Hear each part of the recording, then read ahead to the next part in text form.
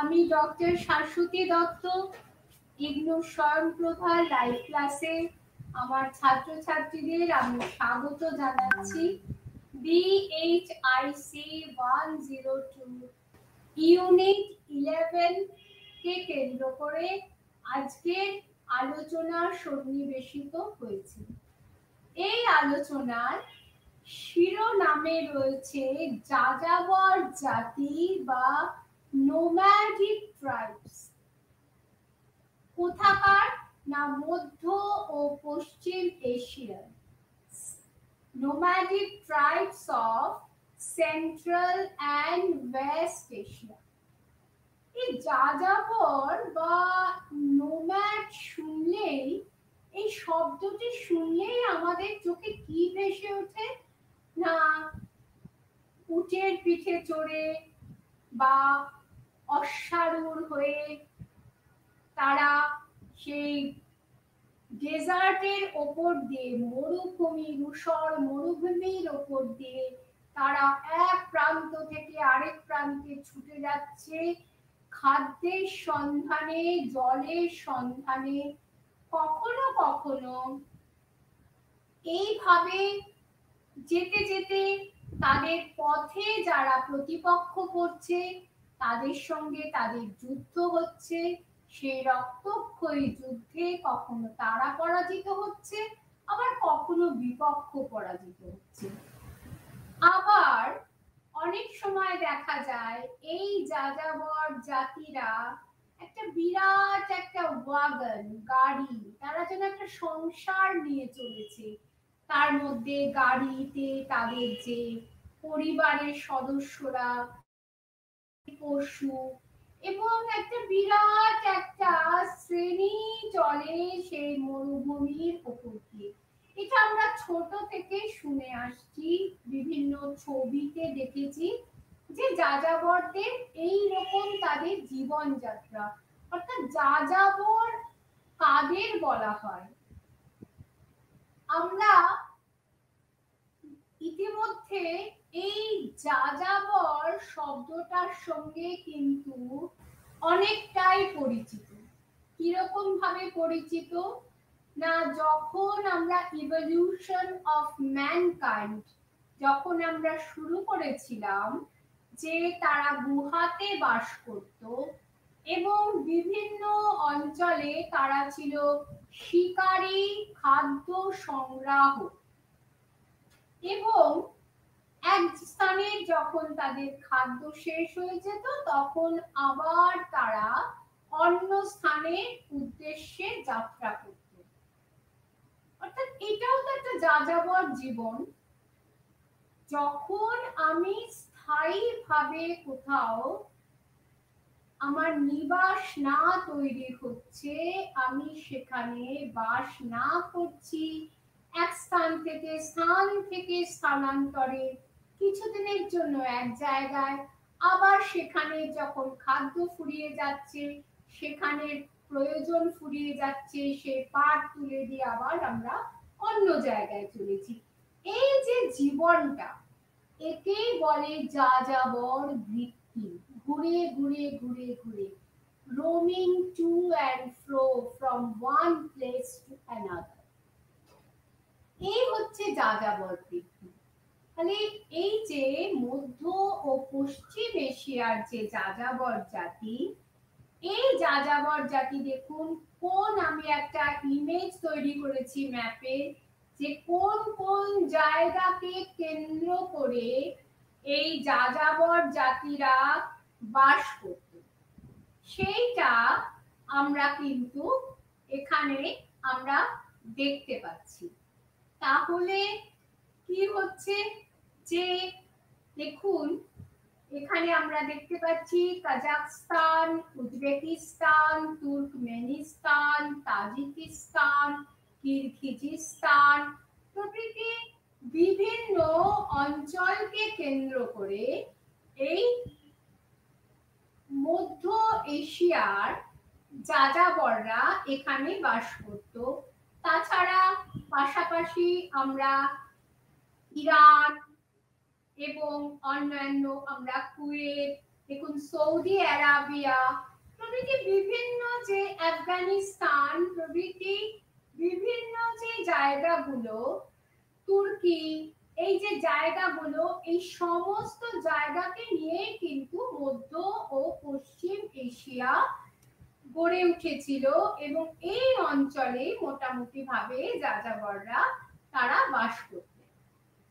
এবারে প্রশ্ন আসছে যে যাযাবর কাদের বলা হয়? সেটা আমি এক্ষুনি বললাম যে যারা কোনো জায়গায় স্থায়ীভাবে বসবাস করে না তাদেরকে যাযাবর বলা হয়। এবারে যাযাবর আর প্যাস্টোরাল নোম্যাড বা মেষ পালক যাযাবরদের মধ্যে কি পার্থক্য আছে? সেইটা আমাদের আলোচনায় আসবে। এদের দৈনন্দিন জীবনধারা কিরূপ ছিল? এদের রাজনৈতিক, সামাজিক, সাংস্কৃতিক জীবনই বা কিরূপ ছিল? সেটি নিয়ে আমরা আলোচনা করব। তাহলে এই যে যাযাবররা আমরা কি দেখলাম? তারা স্থান থেকে স্থানান্তরে তারা গমন করছে, তারা খাদ্যের সন্ধানে, জলের সন্ধানে। আর যারা মেষপালক যাযাবর, তারা কি করছে? তারা যখন এক স্থান থেকে অন্য স্থানে যাচ্ছে, তখন তাদের গবাদি পশুকে সঙ্গে করে নিয়ে যাচ্ছে এবং তাদের মুখ্য উদ্দেশ্য চারণ ভূমির বা গ্রাস ল্যান্ডস বা গ্রাজি ল্যান্ডসের খোঁজে তারা কিন্তু যাচ্ছে। অর্থাৎ কোথায় গেলে সে ঘাস পাওয়া যাবে, যেখানে তারা তাদের গবাদি পশুর খাদ্য সংগ্রহ করতে পারবে। তো এই হচ্ছে মেষপালক, যাযাবর, অর্থাৎ প্যাস্টোরাল নোম্যাড এবং সাধারণ অর্থে যে নোম্যাড যাদের বলা হয়, তাদেরকে আমরা বোঝাচ্ছি। এবং এই যে সাধারণ অর্থে যাযাবর যাদের বলা হয়, তারা কিন্তু অত্যন্ত দুর্ধর্ষ যোদ্ধা, মরুভূমির উপর দিয়ে তারা স্থান থেকে স্থানান্তরে তীব্র গতিতে তারা গমন করছে। যেটা মেষ পালক যাযাবরদের মধ্যে কিন্তু সেই তীব্র গতিটা কিন্তু আমরা দেখতে পাই না। কারণ তাদের সঙ্গে তাদের গবাদি পশু থাকে এবং আনুষঙ্গিক জীবন যাপনের অন্যান্য উপকরণ, সামগ্রী এবং তাদের যে লোক লস্কর থাকে।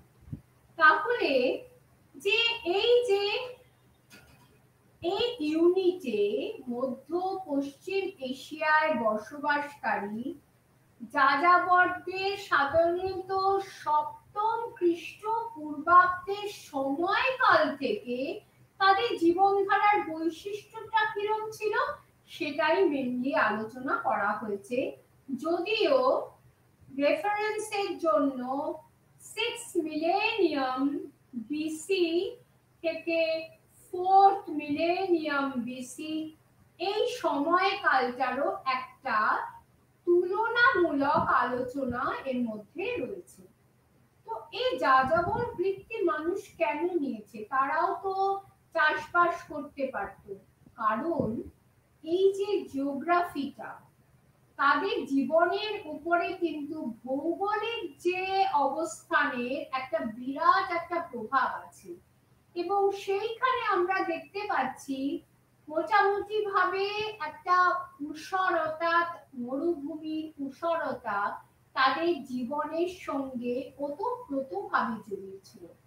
এবং তারা সাধারণ মানুষ যারা স্থায়ীভাবে বসবাস করে, তারা যেভাবে তাদের খাদ্য, বস্ত্র, বাসস্থান জোগাড় করে সেটা তারা পারত না কারণ তাদের। সেখানে জলের উৎস ছিল না। জলের উৎস না থাকার জন্য কৃষিকাজ করতে পারত না। কোনো ইরিগেশনের কোনো ব্যবস্থা ছিল না। কাজে একমাত্র তারা কি করে তারা খাদ্য জোগাড় করতো? লুণ্ঠন। লুট তরাজ করে তারা খাদ্য জোগাড় করত। এবং এই ক্ষেত্রে তাদের তীব্র গতিকেই ছিল তাদের একটা কোয়ালিটি এবং এই অশ্বে আরোহণ করে তারা স্থান থেকে স্থানান্তরে ছুটে বেড়াতো, আর বড় বেশি দল থাকতো না তাদের। ছোট ছোট দলে বিভক্ত হয়ে তারা যেত। একদল সামনে, একদল পেছনে, একটা defence mechanism plus offence mechanism দুটোই তাদের ক্ষেত্রে কাজ করত। যে দেখুন, এই যে আমি ম্যাপটা দেখিয়েছি ফিজিক্যাল ম্যাপ কিরগিজিস্তান তাজিকিস্তান এই দেখুন তুর্কিস্তান মাউন্টেন এদিকে ফারগানা এদিকে নামাঘান এদিকে চাতকাল মাউন্টেন এবং এইভাবে যে শির দরিয়া আমু দরিয়া এই যে নদীগুলি, এইগুলো তুলে ধরেছি যাতে বোঝানোর জন্য যে কীরকম পরিস্থিতির মধ্যে তারা বসবাস করত, তারা তাদের যাযাবর জীবন ধারণ করতে এই যাযাবরদের মধ্যেও আবার একটা অংশ পশুপালন করত, যারা প্যাস্টোরাল নোম্যাড এবং তাদের কাজ কি ছিল? উৎকৃষ্ট তৃণভূমির সন্ধান করা যেখানে তারা তাদের পশুদের খাদ্য জোগাড় করতে পারবে। এটা করতে গেলে সব থেকে কি ইজি ছিল তাদের কাছে? যে মরুদ্যানের যেখানে জলের উৎস আছে, তার কাছাকাছি বসবাস করা। এবং এইভাবে বসবাস করতে গিয়ে যে এই মরুদ্যান অঞ্চলে যারা স্থায়ী বসবাসকারী যে সমস্ত বাসিন্দা ছিল তাদের সঙ্গে অনেক সময় তাদের একটা বিবাদ হতো। কারণ তারা অনেক ক্ষেত্রে তাদের প্রয়োজনীয় দ্রব্যের জন্য এই সব বাসিন্দাদের উপর তারা নির্ভর করত। তো যদি এই বাসিন্দারা তাদেরকে তাদের প্রয়োজনীয় উপকরণ ও সামগ্রী দিতে না চাইতো, তবে বলপূর্বক তাদের কাছ থেকে কেড়ে নিত। আর যখনই বলপূর্বক কাটছে তখনই তাদের মধ্যে একটা বিবাদ শুরু হয়ে যাচ্ছে। সুতরাং এটা কিন্তু একটা ফিচার যে যাযাবরদের সঙ্গে স্থায়ী বসবাসকারী বাসিন্দাদের একটা সংযোগ ছিল। এই সংযোগটা বাণিজ্যিক সংযোগ এবং কোনো কোনো ক্ষেত্রে এটা একটা সামাজিক সংযোগও তৈরি হতো, যেটা পরে বলব। এবং কখনো কখনো এই সংযোগটা আবার বিয়োগ বা বিবাদে পরিণত হতো যদি এই বাসিন্দারা তাদের কথা মতন না চলত। কারণ তারা অত্যন্ত দুর্ধর্ষ ছিল। তাদের যে মানসিকতা, তার মধ্যেও একটা দুর্ধর্ষ একটা ভাব দেখা যায় এবং কোনো কিছু সহনশীলতা, কোনো কিছুকে মেনে নেওয়া, যেটা যেটা স্থায়ীভাবে বসবাস করতে করতে মানুষের মধ্যে যে সমস্ত বৃত্তিগুলি জেগে ওঠে, যেহেতু তাদেরকে প্রচণ্ড ভাবে লড়াই করতে হতো প্রকৃতির সঙ্গে, সেই লড়াই করতে করতে তাদের ভেতরে সে সুকুমার প্রবৃত্তিটার জন্ম নিতে পারেনি। তার জন্য সব সময় তাদের মধ্যে একটা দুর্ধর্ষ ভাব, একটা হিংস্র ভাব লুট তরাজ করার একটা প্রবৃত্তি তাদের মধ্যে থাকতো। যেটা পশুপালক যাযাবরদের মধ্যে কিছুটা পরিমাণে কম ছিল। তো তাহলে আমরা দেখতে পাচ্ছি, এই যাযাবর আর পশুপালক যাযাবরদের মধ্যে প্রধান পার্থক্য যে তারা যাযাবর, যে পশুপালক যাযাবররা তাদের গবাদি পশুকে নিয়ে চলতো এবং তৃণভূমির সন্ধান করত। অপরদিকে যারা সাধারণ অর্থে যারা যাযাবর আমরা যাদের বলি, তারা অশ্বারূঢ় হয়ে মরুভূমির এক প্রান্ত থেকে আরেক প্রান্ত চষে বেড়াতো তারা খাদ্যের সন্ধানে, সম্পদের সন্ধানে। আর এই যে মধ্য এশিয়া আর পশ্চিম এশিয়া, দু জায়গাতেই যাযাবররা বাস করত, কিন্তু তার মধ্যে একটু তফাত আছে। কি তফাত না, পশ্চিম এশিয়ার যাযাবরদের থেকে মধ্য এশিয়ার যাযাবররা অর্থনৈতিকভাবে অনেক স্বয়ং সম্পূর্ণ ছিল। আর কি? পশ্চিম এশিয়ার যাযাবরদের প্রধান যে বাহন ছিল উট, আর মধ্য এশিয়ার যাযাবরদের প্রধান বাহন ছিল হচ্ছে কি? না, অশ্ব। আরেকটি ব্যাপার আছে, এই মধ্য এশিয়ার যাযাবররা যে এক ধরনের তাঁবুতে বাস করত ইয়ার্ট নামে, আর এই পশ্চিম এশিয়ার যাযাবররা তাদের যে তাবুটা ছিল, সেটা হচ্ছে উল দিয়ে তৈরি একটা তাবু। এই বেদুইনরা সাধারণত এই ধরনের তাবুতে বসবাস করত। আর এক্ষুনি আমি বললাম যে জলের উৎস সন্ধানে কিন্তু তারা এক স্থান থেকে আরেক স্থানে যেত। তার সঙ্গে খাদ্যের সন্ধানটাও একটা গুরুত্বপূর্ণ ছিল, কারণ তারা তো চাষবাস করতে পারতো না, জল না থাকায়। তো এই যে একটা জলের কষ্ট, সব সময় কিন্তু তাদেরকে, তাদের পিছনে সব সময় তাদের তার মানে তাড়না করে গেছে। জলের কষ্ট কিন্তু তাদের মেটেনি, কারণ সামুদ্রিক যে জলবায়ু, যার থেকে যে বাতাস থেকে বৃষ্টি হবে সেই যে সামুদ্রিক জলবায়ুর প্রভাব থেকে অঞ্চল বঞ্চিত ছিল, তাই তারা কৃষিযোগ্য জমি তৈরি করতে পারেনি এবং সেই কারণেই জলের উৎসর জন্য সব সময় তাদের ছুটে বেড়াতে হতো। আর এই যে যা যা যাযাবরদের কথা আমি এক্ষুনি বললাম, যে আমাদের রেফারেন্স কিন্তু ছ হাজার খ্রিস্টপূর্বাব্দ থেকে চার হাজার খ্রিস্টপূর্বাব্দের মধ্যে এই যাযাবরদের কথা আমরা পেয়েছি, তখন মধ্য এশিয়াতে শিকারী সংগ্রাহকদের বাস ছিল। আর দু হাজার খ্রিস্টপূর্বাব্দের মধ্যেই এই সব যাযাবরদের কেউ কেউ তারা ধাতুর ব্যবহার শিখেছিল, অর্থাৎ ব্রোঞ্জের ব্যবহার এবং সেই এইভাবেই সেই অঞ্চলে ব্রোঞ্জ যুগের সূত্রপাত হয়েছিল এই ব্রোঞ্জ যুগের শেষ পর্যায়ে, অর্থাৎ তেরোশো থেকে বারোশো খ্রিস্টপূর্বাব্দে, মধ্য এশিয়াতে তারা একটা সামাজিক কাঠামো গড়ে তুলেছিল এবং ধীরে ধীরে তাদের যে স্টেপ তৃণভূমি, এই স্টেপ তৃণভূমি অঞ্চলে যে পশু পালক যাযাবররা বাস করত, তারা সেখানে একটা বসতি স্থাপন করে, করেছিল। এবং কিছুদিন সেখানে বসতি স্থাপন করত। তারপরে সেখান থেকে আবার তাদের বসতি, সেখান থেকে তারা আবার অন্য স্থানে চলে যেত, এক জায়গা থেকে অন্য জায়গায়। কিন্তু তৃণভূমিটার থাকার জন্য তাদের গবাদি পশুর আহারের জন্য খুব সুবিধা হয়েছিল। তাহলে আমরা ছ হাজার থেকে চার হাজার খ্রিস্টপূর্বাব্দের কথা বললাম। তো এর মধ্যে চার হাজার পাঁচশো খ্রিস্টপূর্বাব্দে কাজাকিস্তান অঞ্চলে যাযাবররা কিছুটা হলেও স্থায়ী বাসস্থান কিন্তু গড়ে তুলেছিল। কারণ ওই যে বললাম, তারা মরুদ্যানের কাছাকাছি জায়গায় বসবাস করত এবং জলের সুবিধার জন্য সেখানে কিছুটা হলেও তারা কৃষিকার্য করতে পারত। এবং পশুপালনকে তাদের জীবিকা হিসাবে গ্রহণ করে নিয়েছিল। তাহলে আমরা দেখতে পাচ্ছি, যাযাবররা সেমি নোম্যাডিক অর্থাৎ আধা যাযাবরে পরিণত হচ্ছে। পূর্ণ যাযাবর থেকে যখনই তারা জলের সন্ধান পাচ্ছে, তারা সেমি নোম্যাডে পরিণত হচ্ছে।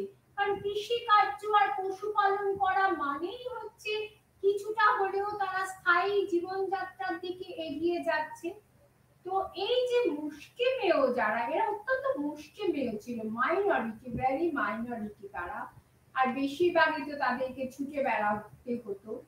এই যে মুষ্টিমেয় যাযাবর যারা কৃষিকার্য, পশুপালন করছিল, তারা তাদের বাহন রূপে ব্যবহারের জন্য গবাদি পশু কি পালন করতো? ভেড়া, ছাগল, ঘোড়া এবং তাদেরকে নিয়েই তারা তৃণভূমির খোঁজে এক স্থান থেকে অন্য স্থানে যেত তাছাড়া এরা এই যে তারা যে ভেড়া, ছাগল, উট, ঘোড়া ইয়া এই যে পালন করত, প্রথম দিকে তারা শুধু বস্ত্র আর খাদ্যের জন্য যে ওদের লোম, ওদের মাংস, সেটা তাদের উদর পূর্তি হতো কিন্তু আস্তে আস্তে দেখল যে আরে এদেরকে তো আমরা ট্রান্সপোর্টের কাজেও লাগাতে পারি ওই জন্য সেগুলোকে পরে বাহনের কাজেও তারা ব্যবহার করত। আর কিছু কিছু জিনিস যারা যেগুলো ওরা উৎপাদন করতে পারতো না, সেগুলো তারা ওই মরুদ্যান অঞ্চলে স্থায়ী বসবাসকারী মানুষের থেকে নিত। যেমন জ্বালানি, শস্য, ধাতু, এগুলো তারা তৈরি করতে পারত না, সেগুলো তারা ওদের কাছ থেকে নিত। এই যে স্টেপ অঞ্চলের একটা ইমেজ আমি তুলে ধরেছি এইখানে। তো এইবারে যেটা আমি যে পশুপালনের কথা বারবার বলছি, ওরা এদের মধ্যে যা পশুপালক যাযাবরদের মধ্যে যে যে আমি এক্ষুনি বললাম যে তারা ভেড়া, উট, ঘোড়া, ইয়াক এগুলো পালন করত, এগুলোকে তারা যানবাহন হিসাবে ব্যবহার করত, আর তার আগে খাদ্য আর বস্ত্রের একটা মিডিয়াম হিসাবেও তারা ব্যবহার করত। তাহলে এবার পশুপালনটা কি ধরনের পশুপালন তারা করত? না স্টেপ অঞ্চলে কিন্তু তারা অশ্ব পালন করতে শুরু করে এবং এর মধ্য দিয়ে মধ্য এশিয়াতে যে এই যে পশুপালক যাযাবর বৃত্তির সূত্রপাত হচ্ছে। যে এরা আস্তে আস্তে এই অশ্ব তাদের বাহনে পরিণত হচ্ছে শুধু তাই না, এই অশ্ব তাদের অন্যতম শক্তিতে পরিণত হচ্ছে। আর এই অশ্ব ছাড়াও তারা রথ ব্যবহার করত। প্রথম দিকে রথকে অশ্ব টানত, কিন্তু পরে যখন তারা চাকা যখন ব্যবহার করতে শুরু করল, তখন চক্র চালিত যুদ্ধ রথ তারা ব্যবহার করতো। এই যে দেখুন যে কীভাবে ঘোড়ার পিঠে চড়ে তারা এক স্থান থেকে আরেক স্থানে তারা গমন করছে। এই হচ্ছে যাযাবরদের প্রকৃত বৃত্তি। আর এই যাযাবরদের মধ্যে অনেক রকম ভাগ ছিল, যেটা আমরা পরে দেখব। এদের মধ্যে হুন ছিল, এদের মধ্যে বেদুইন ছিল স্কাইথিয়ানস ছিল, তারপরে বুসুন ছিল, তুর্কি ছিল, মঙ্গোলিয়ানরা ছিল। অনেক রকম যে যাযাবররা কিন্তু ছিল। স্কাইথিয়ান বা সিথিয়ানরা এই যে এক্ষুনি বললাম যে ঘোড়া, এই অশ্ব ছিল তাদের জীবনের একটা অপরিহার্য অঙ্গ। এই সিথিয়ানসরাই কিন্তু প্রথম স্যাডেল এর ব্যবহার করতে শুরু করে। অর্থাৎ ঘোড়ার পিঠে বসার জন্য একটা সিট সেই সিটটা চামড়ার সেটা তারা ব্যবহার করতে শুরু করে এবং আলান নামক এক যে যাযাবর উপজাতি, তারা স্টিয়ার আপ অর্থাৎ ঘোড়াকে বসে যে পাটা যে লোহার রিংয়ের মধ্যে দিতে হয়, ওটাকে স্টিয়ার আপ বলে। তো কেন, কীভাবে তাহলে এটা লোহার তৈরি? কীভাবে এটা ওরা তৈরি করল? না, এই অ্যালানরা লোহা এই ধাতুর সঙ্গে তারা পরিচিত ছিল। যখনই তাদের জীবনে গতি আসছে অশ্ব চালনার জন্য, তখন সেই মতো পোশাক পরিচ্ছদের পরিবর্তন হচ্ছে। তারা চামড়ার বুট ব্যবহার করছে, হেলমেট, তারপরে বুকের উপর যখন যুদ্ধ করছে, তখন যাতে তাদের বক্ষ যাতে তাদের ঠিক মতন প্রপারলি ওয়েল প্রোটেক্টেড থাকে চেস্ট প্লেট ব্যবহার করছে এবং চামড়া ও উলের তৈরি কোট ব্যবহার করছে তারা। চামড়া, উলের পোশাকটাই তারা বেশি পরিধান করত। আর এই boot, helmet chest plate coat এগুলো একটা অনেকটা যুদ্ধের যে ব্যারিয়ার ড্রেস বলা যায়। আর তারা যাযাবররা, এই মধ্য এশিয়ার যাযাবররা যে বাসস্থানটিতে বাস করত তাকে ইয়ার্ড বলা হয়। এটা কাঠ আর চামড়া দিয়ে তৈরি ছিল। এক একটা ইয়ার্ডে ছোট ছোট ইয়ার্ড তাতে পাঁচজনের বেশি সেখানে থাকা যেত না।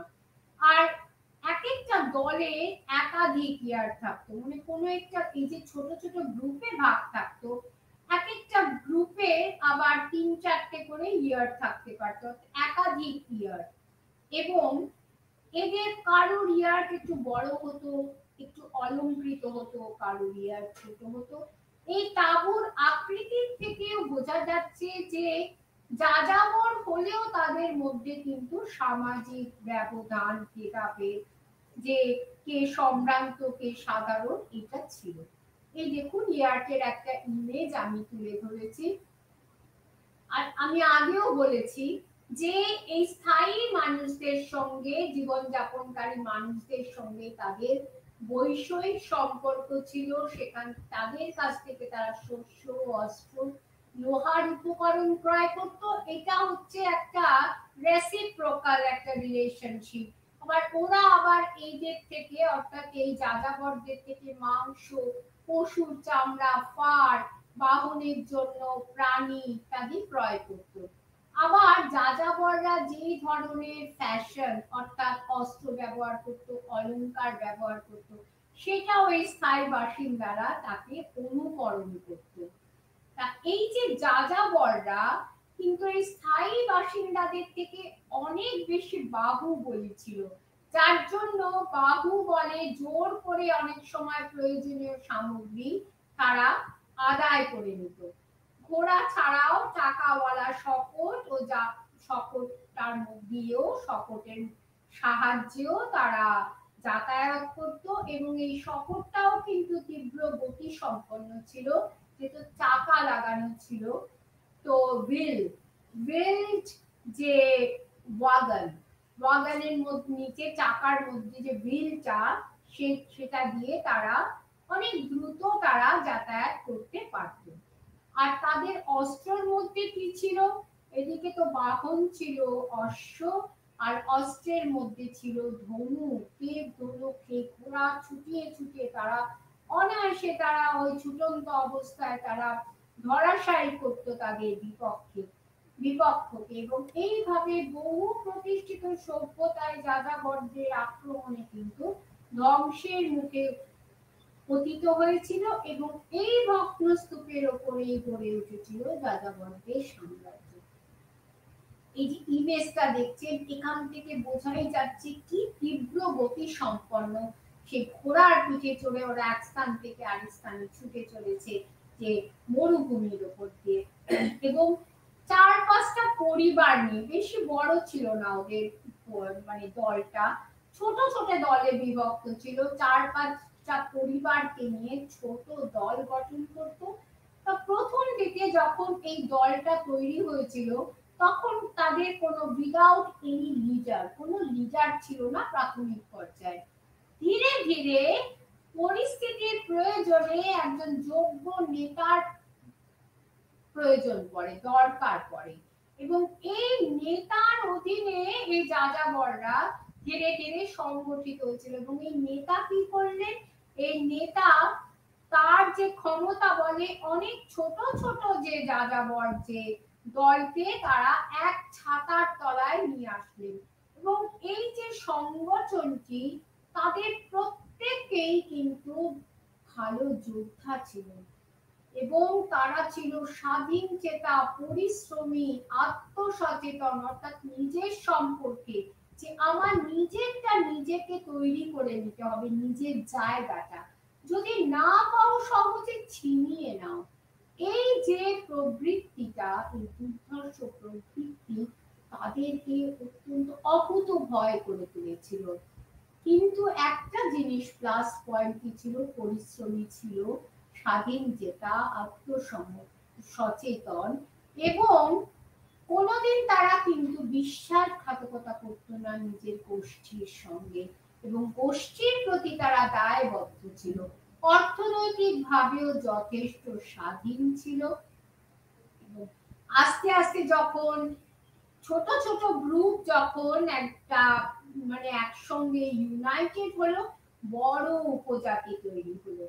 এইভাবে অনেকগুলো বড় উপজাতিকে নিয়ে যখন একত্রিত করা হলো তখন এইভাবেই কিন্তু আস্তে আস্তে নোম্যাডিক এম্পায়ার তৈরি হলো।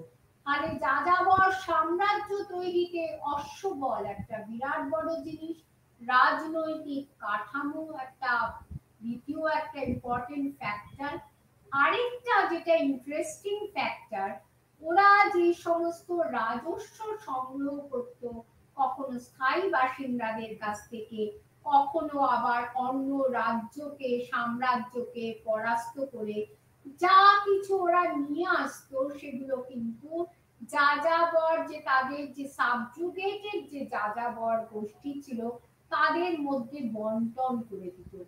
এর ফলে তাদের মধ্যে একটা ভীষণ ভাবে টাই আপ ছিল। আর এই যাযাবরদের যে রাজনৈতিক ধারণাটা ছিল, সেটা ছিল খুব স্পষ্ট। কি ছিল তাদের কাঠামো, সেখানেও কিন্তু আমরা একটা হায়ারার্কি দেখতে পাচ্ছি। সেই হায়ারার্কির মধ্যে আমরা কি দেখছি? একদম ওপরে হচ্ছে শাসক শ্রেণি এবং তারপরেই উপজাতি আর চিফ ডাউন মানে চিফ ডাউন মানে যে উপজাতি তার একজন চিফ থাকবে, নেতা থাকবে এবং এই নেতা সমগ্র উপজাতিকে একত্রিত করবে এবং উপজাতিক নেতা রূপে কাজ করবে এবং যুদ্ধক্ষেত্রে যোদ্ধাদের নির্দেশ দেবে। সেই ক্ষমতা তাকে প্রদান করা হয়েছিল দেখুন কি দুর্ধর্ষ যোদ্ধা এরা এইসব যাযাবররা। আরেকটি যাযাবর জাতির কথা আমরা এ প্রসঙ্গে উল্লেখ করব, সেটা হচ্ছে ষষ্ঠ, সপ্তম খ্রিস্টাব্দে মধ্য এশিয়ার হেপথেলাইটরা এই হেপথেলাইটরা তাদের শক্তির দ্বারা বিস্তীর্ণ অঞ্চল তাদের পদানত করেছিল এবং তাদের এত ক্ষমতা তার কাছে সবাই মাথা নত করে। অন্যান্য সাম্রাজ্যের মধ্যে যে নোম্যাডিক সাম্রাজ্য, তাদের মধ্যে সামানিদ সেলজুক, তুর্কি খারেজমিদ সাম্রাজ্য, ধীরে ধীরে দশম একাদশ শতকে তারা অত্যন্ত গুরুত্বপূর্ণ শক্তিতে পরিণত এবার কোন কোন আমি একটু আগেই বলেছি এদের মধ্যে অনেক ভাগ ছিল যাযাবরদের মধ্যে। তার মধ্যে পশ্চিম এশিয়াতে বেদুইন মধ্য এশিয়াতে সিলিথিয়ান জিন্নু, হুন বুসুন তুর্ক এবং মঙ্গোলরা তো এই যে আরবে যারা বাস করত যে ওয়েস্টার্ন যে ওয়েস্ট এশিয়াতে, তারা বিদুইন নামে পরিচিত ছিল। তাদের বাহন ছিল উট। এরা হয়তো একটা বছর কোনো একটা জায়গায় বাস করত, সেখানে চাষাবাদ করত, ভেড়া, ছাগল সেখানে পালন করত। আবার সেখান থেকে তারা তাদের যে জীবন যাপন সেখান থেকে সবকিছু গুটিয়ে অন্য জায়গায় চলে যেত। এগারোশো খ্রিস্টপূর্বাব্দে এই বেদুইনরা উট এবং গবাদি পশু পালন করতে শুরু করে। এই বেদুইনদের সঙ্গে আরেকটি আরব যে উপজাতি স্লেভ তাদের ঘনিষ্ঠ সম্পর্ক ছিল। কেন? স্লেভরা খুব ভালো কাঠের কাজ করতে জানতো, পশু চিকিৎসা এবং ব্যবসা বাণিজ্য করে তারা জীবন ধারণ করত। অনেকাংশে তারা অর্থনৈতিকভাবে স্বয়ং সম্পূর্ণ ছিল। তো এই সব কাজের জন্য, উপকরণের জন্য স্লেভদের সঙ্গে তাদের সম্পর্ক রাখতো দেখুন কীভাবে বেদুইনরা উটের পিঠে তাদের সমস্ত সামগ্রী চাপিয়ে এক স্থান থেকে আরেক স্থানে যাচ্ছে, এত উষরতা, এত গরম যদি মুখটা পুরো ঢেকে দেখে যেতে হয়। আর সিথিওরা সিথিওরা একটু অ্যাডভান্স ছিল। তাদের এটা হচ্ছে মধ্য এশিয়াতে। তাদের সঙ্গী ছিল অশ্ব অস্ত্র ছিল ধনু, এবং তারা আমি বলেছি তাদের অশ্বতে অশ্বতেও যেমন তারা আরূঢ় হয়ে এক স্থান থেকে যেত, আবার ওয়াগান বা এক রকমের গাড়ি, যেটাকে টানতো গবাদি পশু, ঘোড়ায় টানতো বা অন্যান্য গবাদি পশু তাকে টেনে নিয়ে চলত। তো এদের মনে হতো যেন একটা গোটা একটা স্টেট যেন চলেছে, অনেকটা বিস্তৃত ছিল তাদের এই যখন তারা এক জায়গা থেকে আরেক জায়গায় যেত। এদের একটা সুশৃঙ্খল রাজনৈতিক পরিকাঠামো ছিল, রাষ্ট্রীয় পরিকাঠামো। কারণ কি? তারা জানতো যে আমরা যদি আমাদের রাজ্যকে যদি সঠিকভাবে আমরা পরিচালনা করতে যাই, তবে আমাদের একটা পরিকাঠামো দরকার। সেই জন্য তারা তাদের রাজ্যকে ছটি প্রদেশে ভাগ করেছিল। এই প্রদেশগুলোকে আবার একাধিক নোমেস বা জেলাতে বিভক্ত করেছিল। তাহলে দেখুন, ওরা কিন্তু অনেক অ্যাডভান্স এই নোমেসের যে তাকে বলা হতো নোমার্ক বা গভর্নমেন্ট এই যে, দেখুন, যে সিথিওরা যে সিথিও যোদ্ধা, কতখানি দুর্ধর্ষ। তা আরেকটি যাযাবর জাতি জিউনু তারা এশিয়াটিক ঘুম নামেও পরিচিত। তারা তিনশো খ্রিস্টপূর্বাব্দে মঙ্গোলিয়ান মালভূমি অঞ্চলে বাস করত।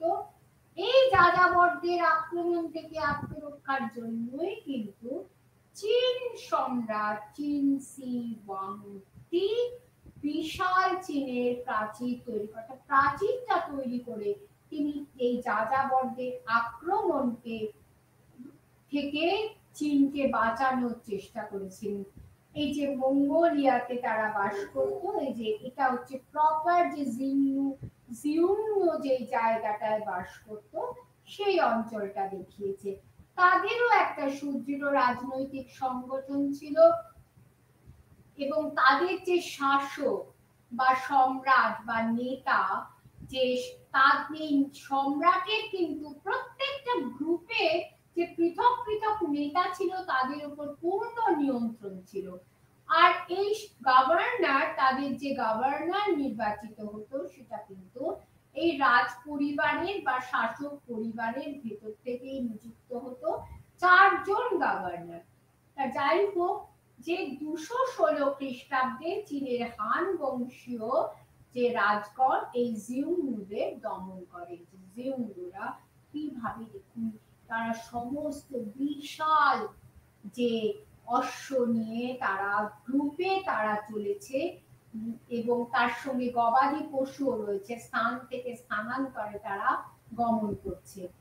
আর এবারে আসছি হুন্দের, হিন্দের কথা তো আমরা ভারতবর্ষের ইতিহাস পড়তে গিয়ে শুনেছি তারা কত দুর্ধর্ষ যোদ্ধা ছিল, যখন গুপ্ত যুগে তাদের আগমন হয়েছিল ভারতের বুকে, তছনছ করে দিয়েছিল। এবং স্কন্দগুপ্ত তাদেরকে প্রতিরোধ করেছিলেন। তো আলতাই পর্বত ও কাস্পিয়ান সাগরের পূর্বস্থিত কোনো একটা স্থানে তারা বাস করত, চতুর্থ, পঞ্চম খ্রিস্টাব্দে। এবং তারা সামরিক ভাবে অত্যন্ত দক্ষ ছিল। তারা লৌহ উপকরণ, গবাদি পশু পালন প্রভৃতিতেও তারা অত্যন্ত দক্ষ ছিল। অশ্ব চালনায় পারদর্শী ছিল। বলা হয় যে চারশো ছিয়াত্তর খ্রিস্টাব্দে এই হুনদের জন্যই রোম সাম্রাজ্যের পতন হয়। অ্যাটিলা ছিলেন এদের দুর্ধর্ষ নেতা। যে হুন নেতা অ্যাটিলা তিনি ছিলেন একদম পুরো ধ্বংসের দূত বলা যায় তাকে। এরা পূর্ব রোম সাম্রাজ্য সম্রাট দ্বিতীয় থিওডোসিয়াস তাকে বাধ্য করেছিলেন মার্গাসের শান্তি চুক্তি করতে। আপনি যদি শান্তি চুক্তি না করেন, তাহলে আমরা আপনার উপর আক্রমণ করব। বাধ্য হয়ে তিনি এই দ্বিতীয় থিওডোসিয়াস, তিনি চুক্তি করেন, তার ফলে ভর্তুকের পরিমাণ আর বৃদ্ধি করতে তিনি বাধ্য এবার হুন্ডের সমাজটা কেমন ছিল? প্রোটো ফিউডালিস্টিক অর্থাৎ প্রায় সামন্ততান্ত্রিক এই প্রায় সামন্ততান্ত্রিক কেন বলছে? সামন্ততান্ত্রিকে আমরা দেখেছি যে সেখানে ফিফ বা জমি একজন প্রভুর থেকে আরেকজন প্রভুর হাতে হস্তান্তরিত। কিন্তু এখানে মানুষও কিন্তু জমির সঙ্গে সঙ্গে অন্য সামন্ত প্রভুর হাতে হস্তান্তরিত হতো। এই রীতি সেখানে ছিল। আর তাদের মধ্যে কৃত দাসের একটা স্লেভ সিস্টেম ছিল। এবং তারা যে কটা রাজবংশকে পরাস্ত করেছিল, তাদের সদস্যদের, বিশেষ করে নারী, শিশু, তাদেরকে দাস ব্যবসায়ীদের হস্তে সমর্পণ করত এবং অনেকের মতে রোমান যে দাস ব্যবসায়ী, তাদের হাতেও তারা সমর্পণ করত। তবে হুন্ডের একটা ফিচার ছিল কি? খুন দাস তারা তাদের ফ্যামিলিতে রাখতো না? তবে একটা বিষয় তাদের প্লাস পয়েন্ট সেটা হচ্ছে তারা তাদের পরিবারে যে সমস্ত কৃতদাস থাকতো, তাদের সঙ্গে সহৃদয় ব্যবহার করতেন। তারা শিকার করতে অত্যন্ত পটু ছিল আর তীরন্দাজিতে অত্যন্ত কৌশলী ছিল। আর এদের শাসন ব্যবস্থাও গণতান্ত্রিক গণতান্ত্রিক কেন বলছি? না, নেতা যে, সে নিজের জন্য কোনো বিশেষ প্রিভিলেজ ডিমান্ড করতেন পারতেন না। এবং সমাজে যোদ্ধাদের একটা সম্মান ছিল সেই কারণে ছোট থেকেই শিশুদের যুদ্ধের প্রশিক্ষণ দেওয়া হতো। দুধ ও মাংস ছিল তাদের প্রধান খাদ্য। চারশো চুয়ান্ন খ্রিস্টাব্দে গেপিজ বলে একজন উপজাতির নেতা আর্ডারিক হুনদের পরাস্ত করেন। আরেকটি যে যাযাবর জাতি বুসুন এরাও পশুপালক যাযাবর। জলের সন্ধানে এক স্থান থেকে আরেক স্থানে ঘুরে বেড়াতো। অনেকের মতে স্কাইথিয়নের থেকেই এদের উৎপত্তি এরা চীনের কিলিয়ান পর্বত ও দানহাংয়ের মধ্যবর্তী কোন স্থানে বাস করত। একশো তেত্রিশ খ্রিস্টাব্দে দ্রুত শক্তি বৃদ্ধি করে এবং জিউন্নদের সঙ্গে এরা মিলিত হয়। এরা রাজনৈতিক সামরিক ভাবে এবং মিলিতভাবে এরা ইউচি জাতিকে, গোষ্ঠীকে পরাস্ত করে। এই যে কুষাণরা, এরা কিন্তু ইউচি জাতির অন্তর্ভুক্ত। তো চীনের হান রাজাদের সঙ্গে এদের একটা মৈত্রীর সম্পর্ক ছিল। হান রাজা কারণ না হলে তো হবে না, তারা আক্রমণ করবে। জ্যান কিয়াং লিয়াও জাওমি দরবারে। অর্থাৎ উসুন নেতার নাম লিয়াও জাওমি খান রাজা জ্যান কিয়াং। তিনি এই উসুন নেতার দরবারে দূত প্রেরণ করেছিলেন। আর এদের রাজ্যটা কিরম ছিল? ফারগানা উপত্যকা বেষ্টিত, যেখানে তৃণের অভাব হতো না বলেই অশ্ব পালনের জন্য ওই স্থান বিখ্যাত ছিল।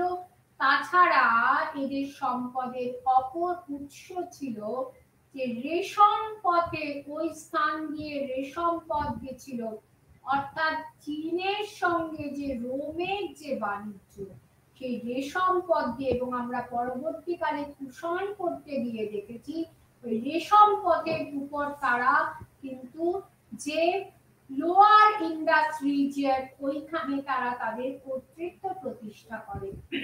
এই রেশম পথের উপর কিন্তু এই হুসুনদের অধিকার ছিল।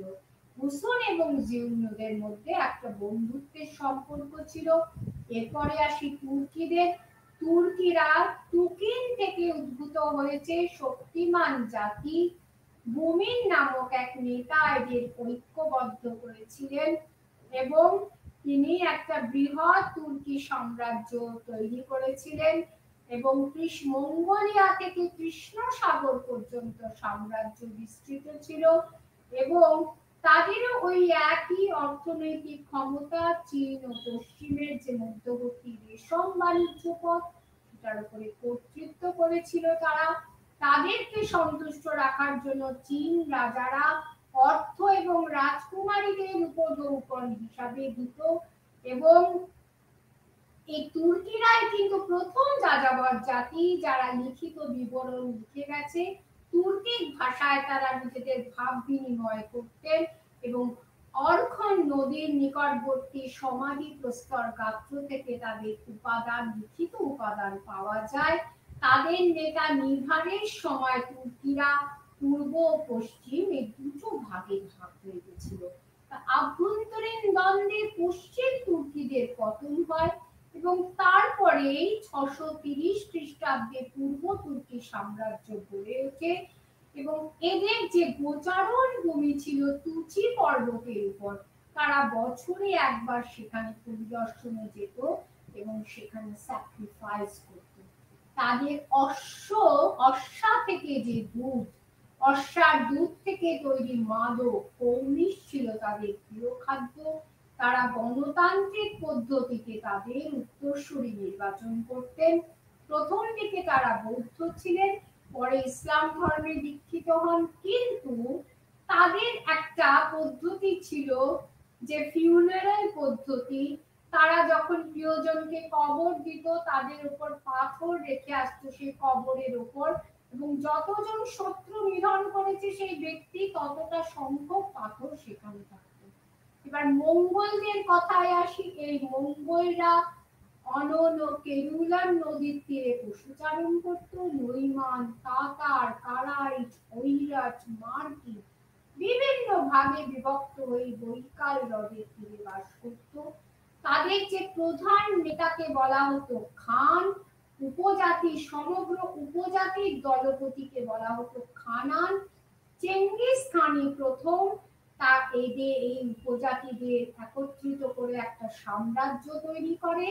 তার নাম ছিল তেমুজিন এবং উপজাতি পরিষদ কুরুল তাই তাকে নেতা বলে নির্বাচন করে তাকে চেঙ্গিস খান উপাধি দেওয়া হয়েছিল।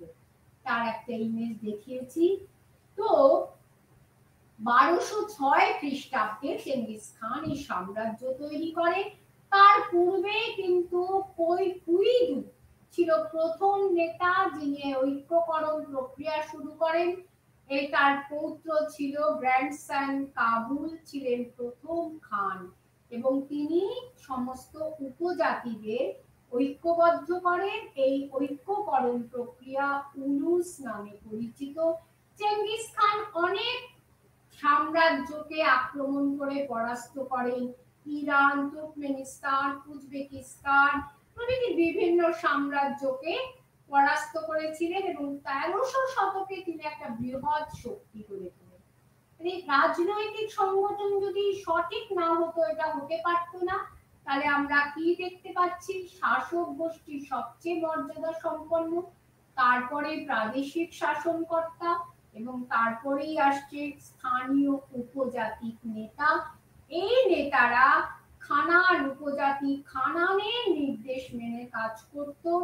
চেঙ্গিস খান কিন্তু রাজনৈতিক সংগঠন তৈরি করতে গিয়ে রক্তের সম্পর্ক বা যেটা গোষ্ঠী সম্পর্কের উপর বিশেষভাবে তিনি জোর দিতেন আর তিনি একটি আইন প্রণয়ন করেছিলেন শাসন পরিচালনার জন্য। তাকে যশ বলা হতো।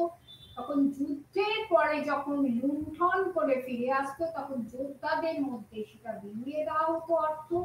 আর বিচার করতেন যারা, সেই বিচারকরা এক শ্রেণির নেতা ছিলেন। তারা নানান সমস্যার সমাধান করতেন।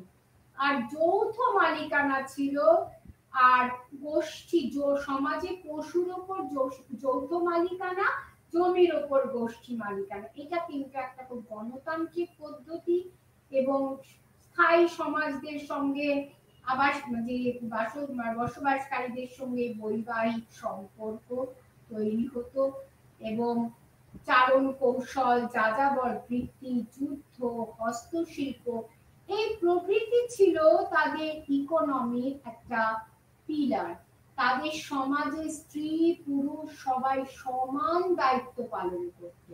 এবং এইরকম একজন নেত্রীর নাম আমরা পাচ্ছি স্পারগাপিসেস সিথিও নেতা, তার মাতা তমিলিস আর এই সিথিওরা মৃতদেহকে কবর দিয়ে সেখানে সোনা, রূপা ও অন্যান্য মূল্যবান অলঙ্কার রেখে দিত। কুরগানা সমাধি, ইসিকমন সমাধির উদাহরণ হুন নারীরা পর্যন্ত অশ্বারোহণে পটু ছিল তীরন্দাজিতে পটু ছিল শিশুদের ছোট থেকে অস্ত্র শিক্ষা দেওয়া হতো। আর সমাজে চুরি ছিল অত্যন্ত অপরাধ। ধরা পড়লে সে ব্যক্তি ও পরিবারের যে সম্পত্তি বাজেয়াপ্ত হতো। তুর্কি সমাজেও ভেদাভেদ ছিল। ধনীরা বেশ নামে পরিচিত, দরিদ্ররা সাইকিন সাইগে নামে। আর প্রধান সম্পদ ছিল অশ্ব। সম্ভ্রান্তদের তুলনায় সাধারণ যে যোদ্ধাদের, তাদের যে কবর বা তাদের যে জীবনযাপন পদ্ধতি, সেটি কিন্তু অনেক সাধারণ ছিল। আর মঙ্গলদের যে সমাজ, তাকে কুলুস বলা হতো। কে কত পশুর অধিকারী, তার উপর ভিত্তি করে এটা নির্দিষ্ট করা হতো। আর লর্ডদেরকে নয়ান বলা হতো। তারা ছিলেন রাজার পরামর্শদাতা, তারা যুদ্ধক্ষেত্রে তারা সৈন্যদের পরিচালনা করত। আর সংস্কৃতির ক্ষেত্রে একটা বিরাট পরিবর্তন এনেছিলেন সিথিওরা কুঠার, তরবারি তীর ধনুক হাড় পাথর ব্রোঞ্চের তৈরি সেই ধনুকগুলো ছিল। অ্যানিমাল আর্টের স্রষ্টা ছিলেন তারা।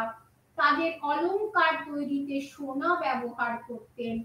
উদাহরণ হচ্ছে কুবানের কেলের মেসে লোহা ও সোনার কুটার অস্ত্রম কায়া সমাধির স্বর্ণ নির্মিত মন্দির কিরগিজিয়ার নারী প্রত্নক্ষেত্র থেকে প্রাপ্ত বিভিন্ন সাংস্কৃতিক নিদর্শন, আবার একইভাবে হুন আর্টের নিদর্শন বৈকাল লেক থেকে পাওয়া গেছে। তাছাড়া সানসি, সেন্সি হোকুই থেকে।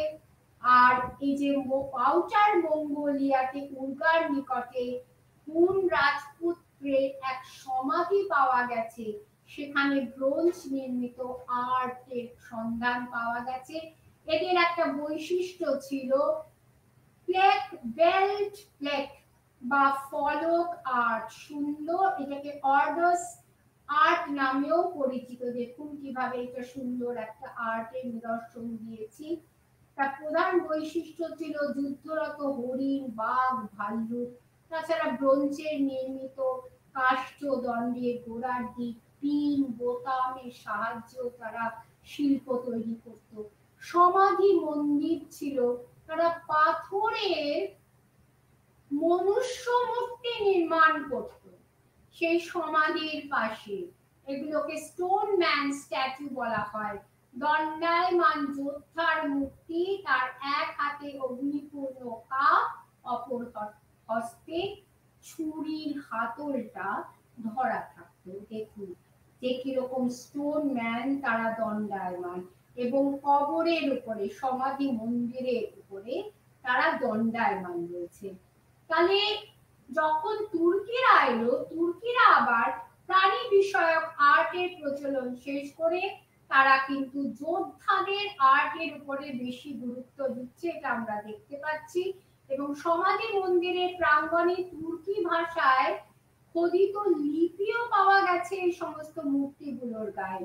মঙ্গলরাও আর্টের পৃষ্ঠপোষক ছিলেন এবং বিশেষ করে মঙ্গল নেতা চেঙ্গিস খানের পুত্র উগোদেই, তার নাম উল্লেখযোগ্য, রাজধানী কারাক্রম তৈরি করেছিলেন এবং এক রকমের থ্রোট মিউজিক তিনি সৃষ্টি করেন যেটা একটা অভিনব একটা মিউজিক তো এই যে এতক্ষণ আমরা যেই কথা বললাম, যে সমস্ত নোম্যাডিকদের কথা বললাম, এর মূল্যায়ন যদি করি, তাহলে আমরা কি দেখব?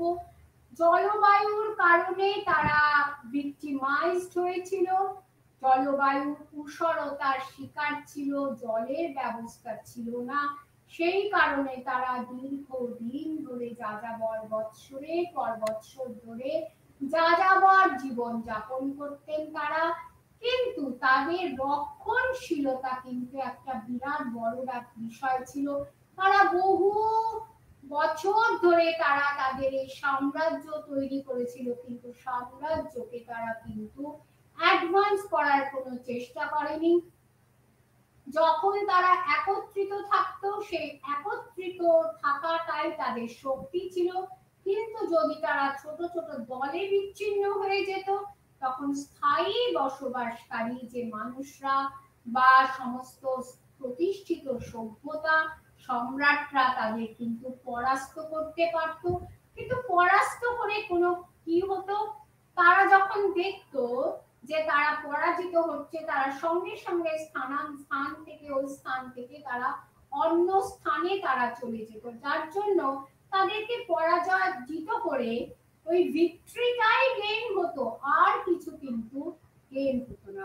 তাহলে যদি তারা নিজেদের, নিজেরা উন্নত টেকনোলজি তারা গ্রহণ করতে পারত, সে বিষয়ে শিক্ষা নিত, তবে কিন্তু এই যাযাবরদের জীবন আরও উন্নত হতো কারণ তারা কিন্তু যথেষ্ট পরিমাণে তারা একদিকে যেমন তাদের যে শক্তি, তাদের যে বাহুবল, কোনো কিছুই কিন্তু কম ছিল না।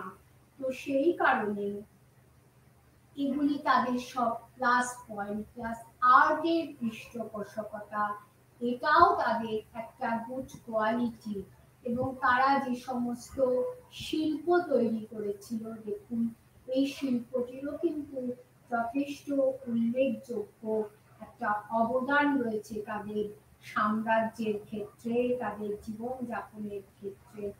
এবং আরেকটি বিষয়, তারা কিন্তু খুব সুশৃঙ্খল ছিল। নিজের উপজাতির প্রতি কিন্তু তারা অত্যন্ত ন্যায় পরায়ণ ছিল তারা তাদের যে ডেডিকেশন তাদের সেটা কিন্তু তাদের ছিল এবং সব থেকে যে বিষয়টি, তারা তাদের পরিবারে, তারা জানি যে আমরা জানি যে এতক্ষণ যা পড়লাম তারা দাস ব্যবসাতে তাদের একটা অবদান ছিল, কিন্তু তারা নিজেদের হুন্ডের কিন্তু উপজাতির কাউকে তারা কৃতদাস হিসাবে রাখতো না। এবং যে কৃতদাস যাদেরকে তারা তাদের পরিবারে রাখত, তাদের সঙ্গে কিন্তু তারা যথেষ্ট সহৃদয় ব্যবহার করত। পাশাপাশি তাদের যে রাজনীতির ক্ষেত্রে একটা অনেকের, অনেক উপজাতির মধ্যে রাজনীতির ক্ষেত্রে একটা গণতান্ত্রিকতা দেখা গেছে।